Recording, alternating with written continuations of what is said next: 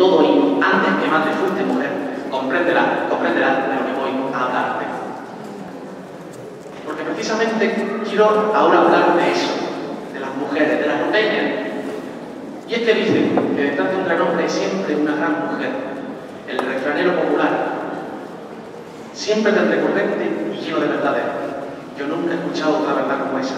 Detrás de un gran hombre hay siempre una gran mujer. Yo no soy un gran hombre, ni sé si alguna vez llegará a serlo, pero sí tengo el apoyo continuo de cuatro mujeres, siempre fieles, siempre a mi lado en el camino, siempre a la verita mía. Cuatro mujeres, madre, que me han hecho conocer el mundo de cuatro maneras muy diferentes, tres generaciones, pero cuatro maneras muy distintas de vivir, de ver la vida. Cuatro grandes mujeres, cuatro norteñas de toda la vida. Ellas son cuatro grandes pilares para mí. Vuelvo a decir que son mi madre Teresa, mi abuela Carmen y mis dos hermanas, Alba y Maite.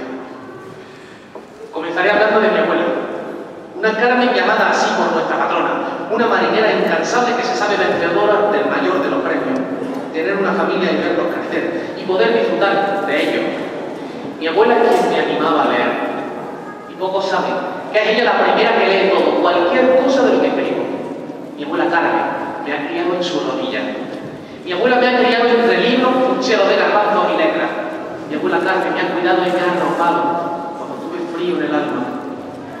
Mi abuela Carmen es especial. Y sin embargo, mi abuela, como todas las mujeres de su época, como todas las mujeres que nacieron en época dura, ella siempre me dice que aprovechamos cuando tengamos y cuando podamos tener, porque ella no pudo tenerlo.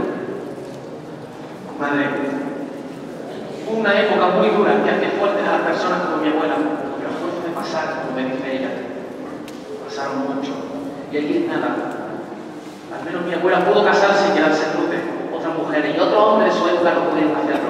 Hubieron de salir de su propia tierra, de los campos que habían labrado sus padres, de las casas de sus antepasados, y abandonarlo todo, porque no tenían ni un triste truco de pan que llevarse a la boca. Que emigraron, madre. Se marcharon de su hogar para buscar un hueco en una España que los acogió.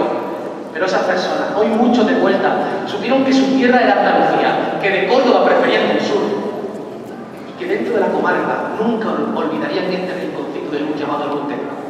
Siempre en guerra contra la muerte, siempre en guerra contra el olvido. Hay incluso quien se marchó a Barcelona y jamás aprendió catalán, porque no iba a necesitarlo. O quien jamás pronunció una C o una Z en sus conversaciones porque a pesar de que el no fuese muy fino, él prefería el seseo del hombre.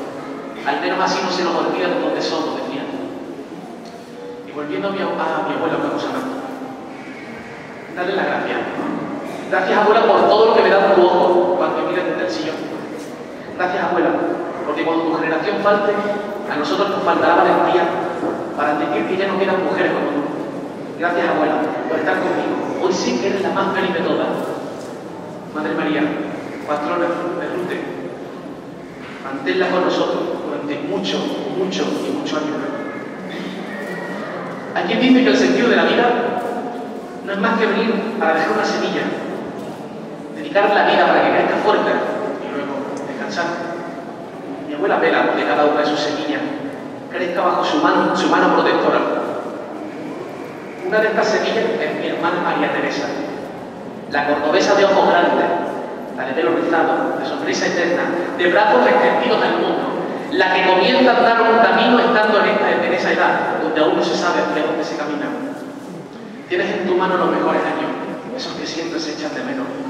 Disfruta de lo bueno y aprende de todo lo malo. Aprende de las olas del mar, aprende de las nubes. Inténtalo y vive en paz.